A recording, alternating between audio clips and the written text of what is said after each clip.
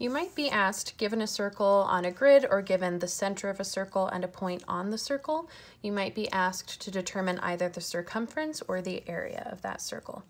For either of those formulas, we need to know what the radius of the circle is. So that's where the grid or the graph of the circle comes into play.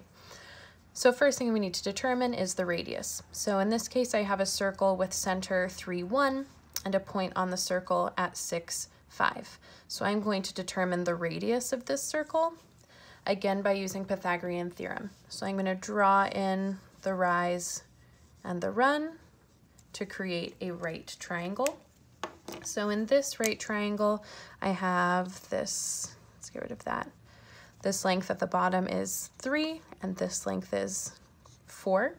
You may remember that that is going to create a Pythagorean triple. If I went through and did 3 squared plus 4 squared equals r squared, I would end up getting 5. If you don't believe me, you can do the Pythagorean theorem on your own, but 3, 4, 5 is the most commonly used Pythagorean triple that you might see on the Regents.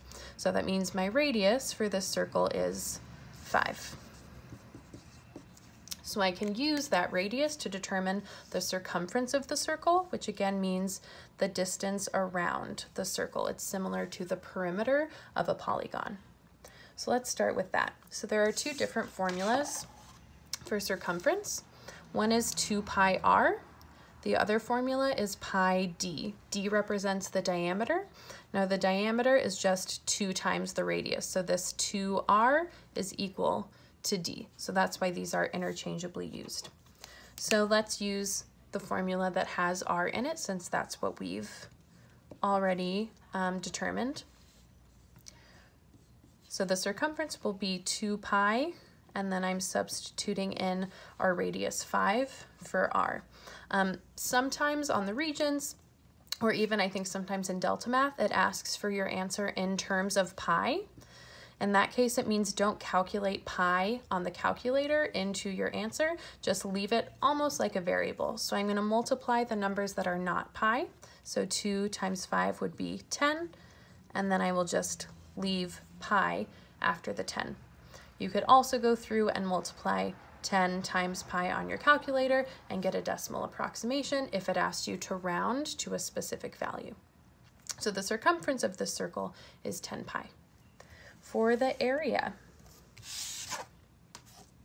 So the area formula that we need to know, which is provided for you on the Regents, so is the circumference formula. The area of a circle is pi r squared. So for this particular area, we just have to substitute in 5 for our radius.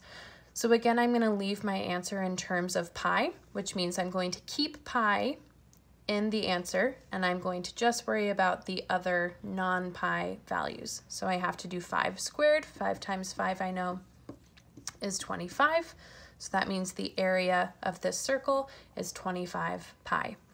If a question ever asked you to find the area to the nearest tenth or the nearest hundredth, that's when you would go through and multiply 25 times pi on the calculator and round however it told you to.